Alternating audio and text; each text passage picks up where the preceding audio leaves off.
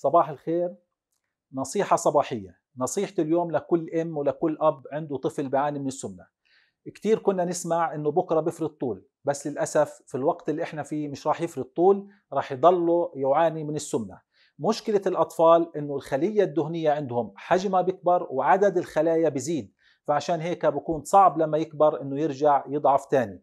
عشان هيك لازم نهتم بأطفالنا لازم ننظم الغذاء تبعهم من خلال ممكن يكون استشاري تغذية. وإحنا في مركز ابن النفيس في عنا عناية خاصة بالأطفال وأنظمة غذائية خاصة بالأطفال وبدائل صحية للأطفال.